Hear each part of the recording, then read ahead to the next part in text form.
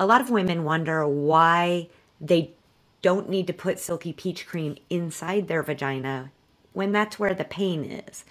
Um, why is it sufficient to put it on their labia and you know perineum? If the pain is in the vagina, I think they want to apply it there. How would you respond to that? So we have a very dense network of capillaries, little blood vessels that run throughout the whole of that perineal area. Just just think about arousal and how um, how all that tissue can become engorged. We know there are blood vessels just running through that whole area. Mm.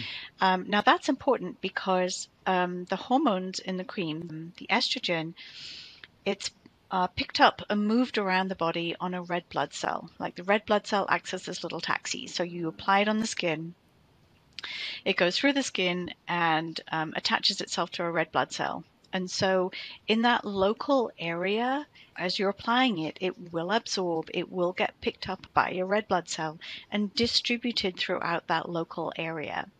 Hmm. And we have receptors for estrogen throughout that region, all along the um, the cells of the vagina, along the cells of the urethra, um, along the labia, along the um, the whole vulva. There are little receptors there just waiting for estrogen to arrive, and so mm. that local distribution will absorb a, a, high proportion of that estriol that's being absorbed through the skin. You're mm-hmm. gradually just rebuilding it, rebuilding it, rebuilding it, and over time, that skin tissue that lines the vagina, lines the urethra, regains its strength and integrity. So it sounds like these little red blood cell taxis are getting the estrogen to exactly the receptors all around our reproductive organs, around our urinary tract.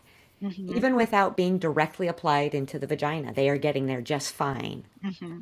Yes. Yeah. Okay. Yes. Great.